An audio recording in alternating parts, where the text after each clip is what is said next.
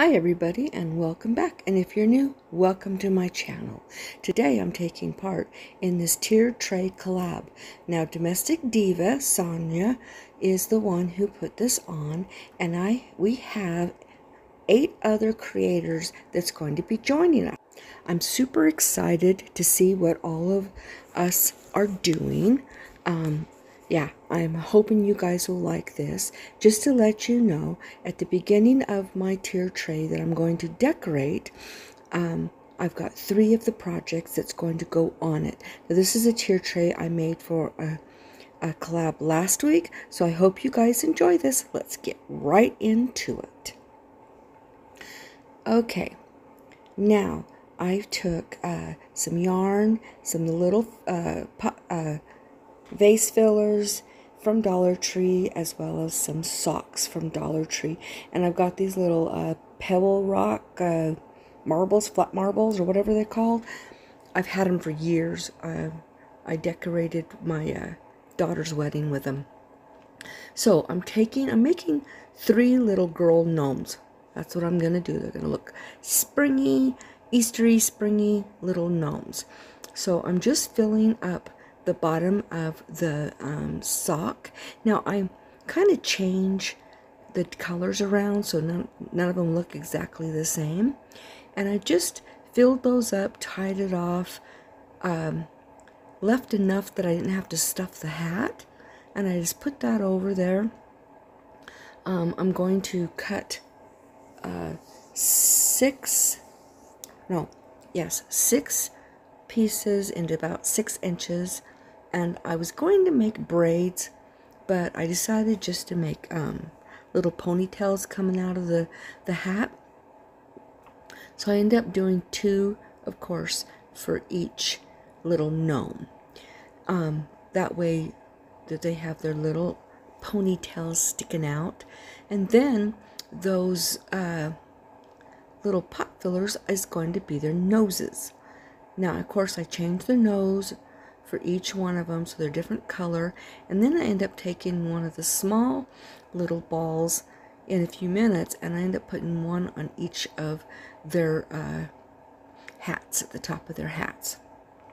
And here's all three of them, and I hope you guys like them. Let's get to the DIY number two. All right, this one, um, I've got some beads out of a package that I got for from clearance at Walmart. I think it was 250 for a whole bunch and I'm taking these pastel colors and I also have some little chickens from out uh, the Dollar Tree and I took my acrylic paint from Apple Barrel. I am a plaid ambassador so um, I've got those skewers and I'm just going to put 10 of the beads on each one.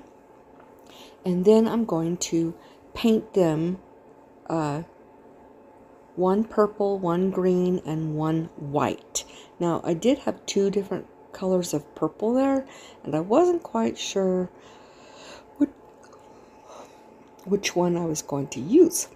So I end up using the, the more the uh, lavender one um, than I did the darker one. So here I'm just showing you, I'm just going to paint those.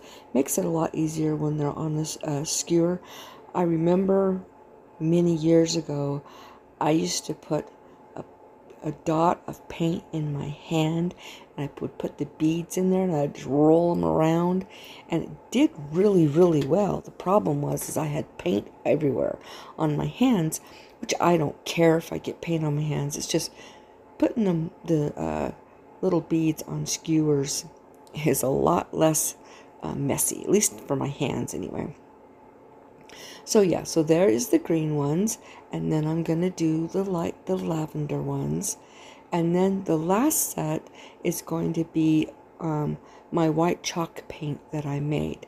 And if you're wondering about the recipe, it's two parts paint, one part ground up chalk to a powder. I just put it in a, a food processor and just ground it all up. And then mix that up and if it's a little too thick you can add a little bit of water if it's not quite thick enough you can add more chalk So, or you could add more paint depending on to get it to the consistency that you want it. So there I am working on those purple ones, or lavender more like. Um, periwinkle's my favorite color, but all purples. I love all purples and I love most blues. Not all blues, but most. So here I am uh, painting those beads all white. And I, each time I do one, I get a better, um, figure out a better way to get them all covered.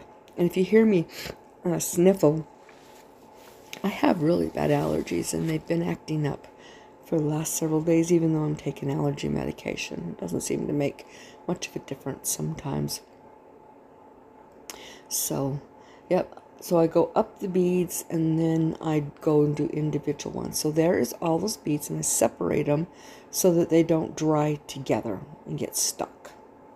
So then I'm going to take one of the little um, little chickies and I am going to paint it on both sides with that lavender um, I know chickies are supposed to be uh, yellow, but in my world, they're lavender.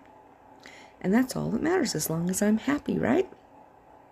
Of course, if you wanted to do this, you could pick whatever colors you would like.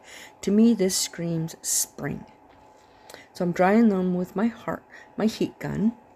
And now I've grabbed some jute. And I'm just going to um, add those on in a pattern so that it's just uh, white, green, lavender, white, green, lavender over and over and over again. And now I've got beads running all over the place, but I end up gathering them up and wrangling them in and getting them all on that jute. So here I am, I'm just adding them. Uh, sometimes the jute would start to fray and I'd have to cut a little piece off to get a piece that wasn't frayed. I didn't want to put uh, tape on them or glue because I just didn't. I figured this would work, and it did. It went by quite well, and it was really, it worked out just perfect.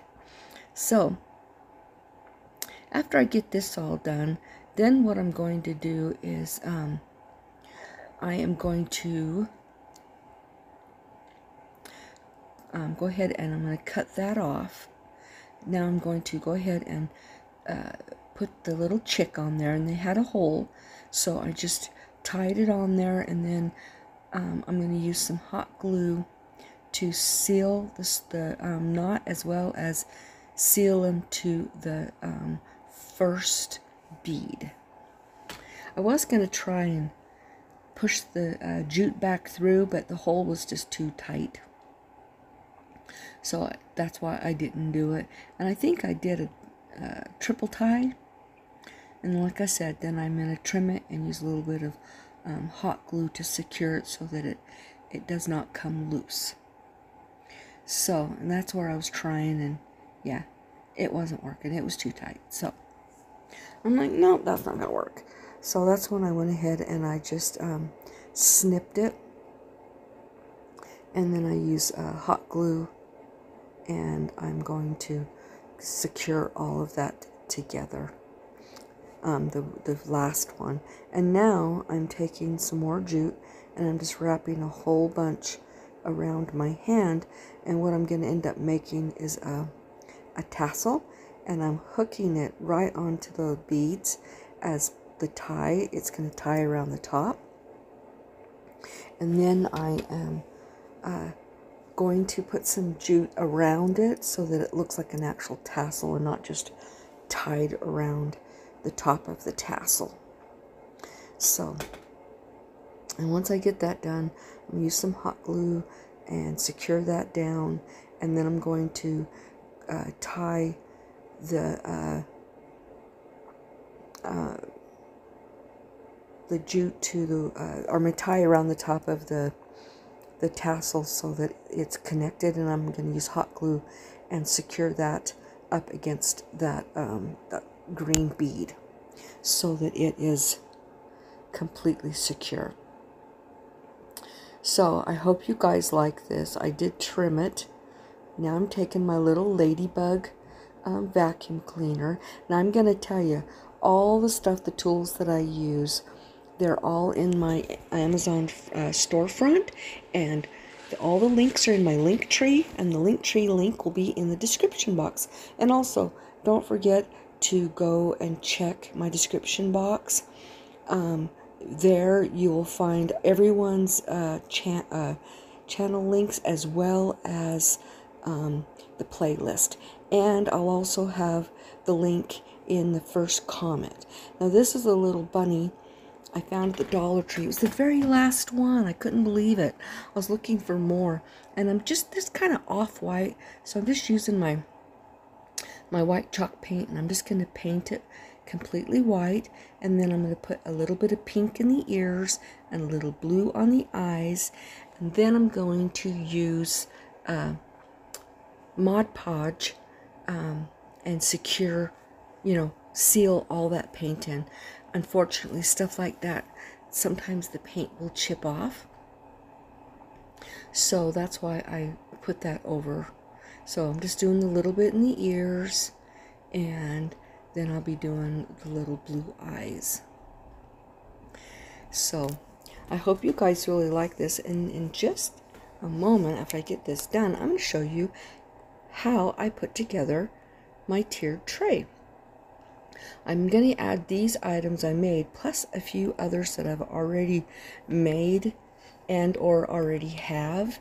Um, the other ones I made for different uh, videos and uh, I can link those in my description box as well so that you can find out where they're at.